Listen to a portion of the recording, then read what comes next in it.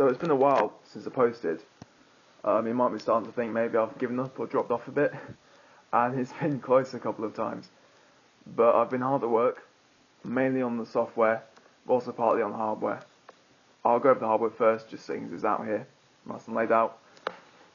First thing you might notice is this over here, which is a character display, 20 by 4 characters, which isn't massive, but it'll do for what we're doing now. Not really attached, it's just sort of hanging off the side there. Um, I'm looking to get a larger display at some point, because it is a bit cramped. Um, a slightly less obvious change. Last time you saw it, when it was just going beep, it was going about 2.5 megahertz. Well, exactly 2.5 megahertz, which 250,000 instructions a second. It's now running at 8 megahertz, so about a three times speed increase. There were just some timing issues. I've moved some things around and got quite a nice speed up out of it. So, great success there. Um, I'll go to display now.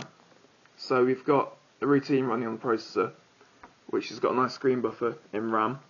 It's going to empty that, put some text into it, and then write the text to the display. So I'll just show you that now. Press the switch over here, and text appears. It's actually just a string. We've got a print function, and the characters are wrapping in the display because of the way it's laid out in the screen buffer. Uh, all works quite nicely. I won't go over the code for that now.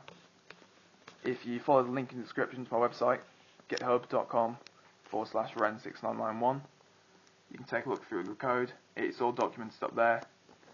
Thanks for watching, guys. See you next time.